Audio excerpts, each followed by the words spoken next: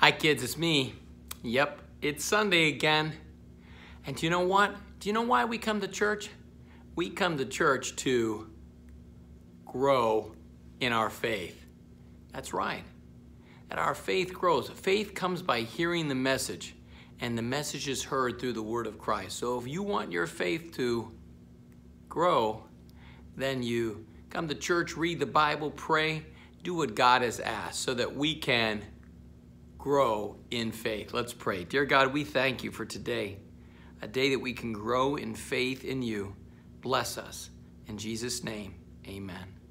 Remember, grow, be safe, be brave, walk in faith. God bless you. Grow.